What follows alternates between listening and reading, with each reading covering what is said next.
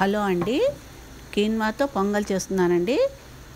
కీన్వాలో protein iron fibre calcium ఎక్కువగా ఉంటాయండి. ఇవి మన శరీరానికి చాలా అవసరం అండి ఈ ఖనిజాలు ఉండటం వల్ల నిద్రలేమి తలనొప్పి కండరాల తిమ్మిర్లు రక్తహీనత మధుమేహం వంటి వాటిని కూడా నివారిస్తుందండి. కిన్వాతో పాటు పెసరపప్పు కూడా వేశారండి. పెసరపప్పు తినడం వల్ల రక్తహీనతను తగ్గిస్తుందండి. దీంట్లో కూడా కాల్షియం మెగ్నీషియం పొటాషియం సోడియం ఎక్కువగా ఉంటాయండి. ఇది ఒక సూపర్ ఫుడ్ అని చెప్పవచ్చు.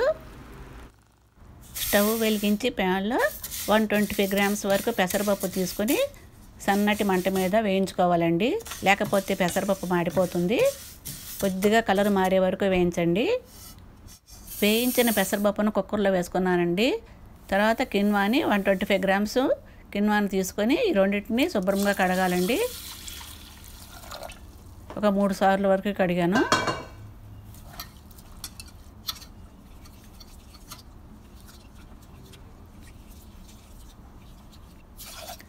దీనిలో ఆరేడు కప్పులు వాటర్ వేసుకోవాలండి. అంటే ఒక కప్పుకి మూడు కప్పులు చొప్పున వేసుకోవచ్చు.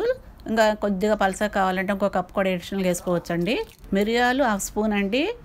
అల్లం ముక్కలు కొద్దిగా ఒక హాఫ్ స్పూన్ పసుపు. ఉప్పు తగినంత మీ రుచికి సరిపడా వేసుకోండి. కొద్దిగా నెయ్యి వేసానండి. కరివేపాకు నాలుగు వేసి ఒక విజిల్ వచ్చే వరకు ఉడికించుకోవాలండి. ఇప్పుడు పోపు వేసుకోవాలండి. స్టవ్ వెలిగించి పాన్ పెట్టి రెండు స్పూన్ల నెయ్యి వేసుకున్నానండి. నెయ్యి వేడెక్కినాక హాఫ్ స్పూన్ ఆవాలు హాఫ్ స్పూన్ జీలకర్ర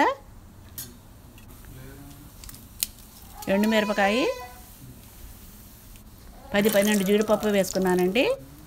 ఒక ఐదారు పచ్చిమిరకాయలు తీసుకుని ముక్కలకాయ చేసుకుని వేసుకున్నానండి. చిన్న అల్లం ముక్కలు కరివేపాకు వేసుకొని కొద్దిగా వేయించాలండి.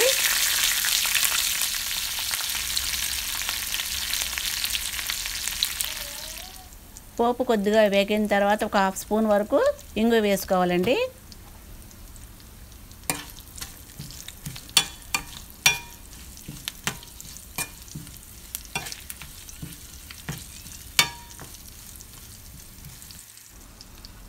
కుక్కర్ మూత తీసిన తర్వాత పెసరపప్పు కింద మెత్తగా ఉడికినాయండి.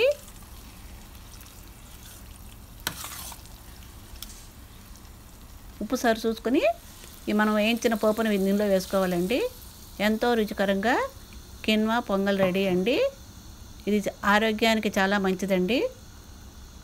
మీకు ఈ వీడియో నచ్చితే లైక్ చేయండి షేర్ చేయండి సబ్స్క్రైబ్ చేసుకోండి.